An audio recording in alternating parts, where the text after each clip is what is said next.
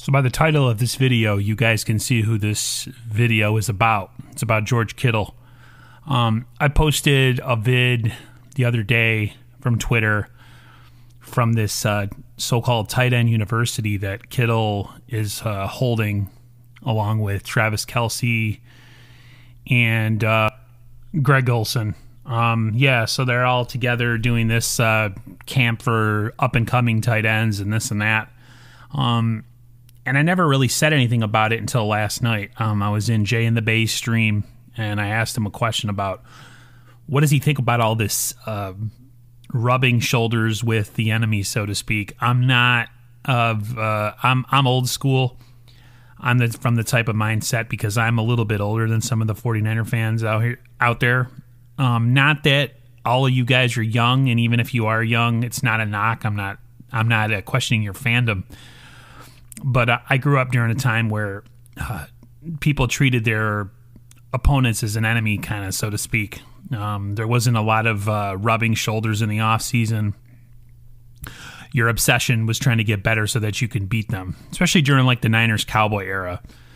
Um, it's just a different time, you know, the social media era. I get it. Um, I'm just old and curmudgeony, but seeing how close Kittle and Kelce are bothers me. Um, Kelce was part of the team that beat us in the Super Bowl a couple year, uh, couple years ago, and uh, I just don't take too kindly to it. Um, it just bothers me. Um, the other thing that bothers me about the whole thing is uh, the chance of getting injured. You know, um, there is uh, a chance you can overtrain in the off season or just go at it so hard all the time that you never allow your body to rest. And I feel like Kittle is one of those guys.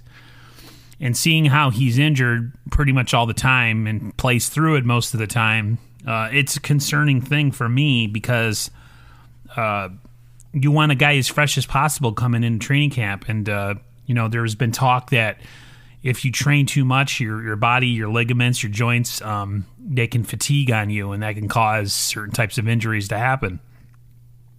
To me, I'm just of the mindset that uh, you know you train, you get yourself ready, but you also give your body a little bit of a time to recover.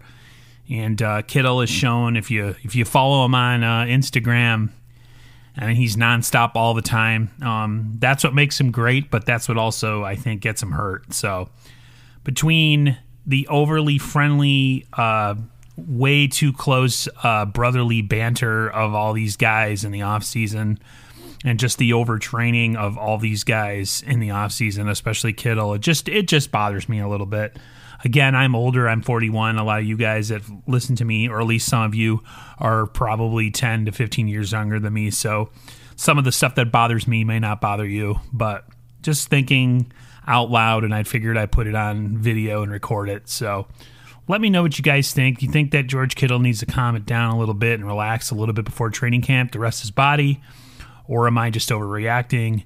And should I stop getting all stressed out over the fact that he's gotten really close to Travis Kelce and that Kelce was part of the team that beat us in the Super Bowl in 2019?